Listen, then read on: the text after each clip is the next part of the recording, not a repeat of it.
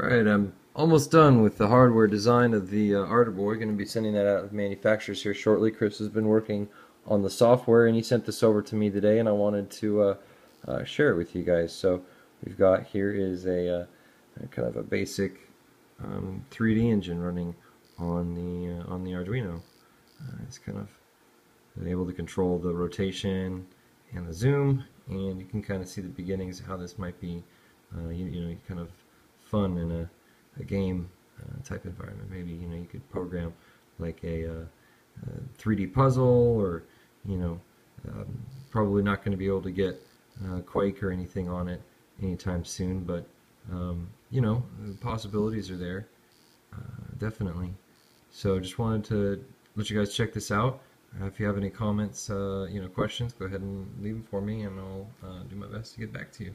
All right, take care, guys, and uh, stay tuned for more news.